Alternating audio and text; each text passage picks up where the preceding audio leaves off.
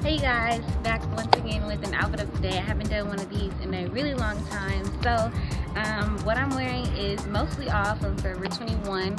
This is a bode and um, this is from Forever 21 and then I have the long skirt as well. It's kind of like a little eggplant color.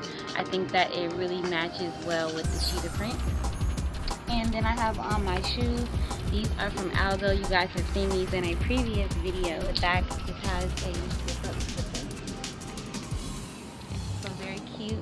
Um, my necklace is from jewelmint.com and I'll leave all the links below if you guys are interested in purchasing this. This is the serpentine necklace.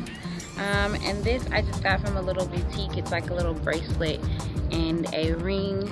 My nails, you guys will see what color this is in an upcoming haul video. And that's it. Thank you guys so much for watching. Hope you liked it.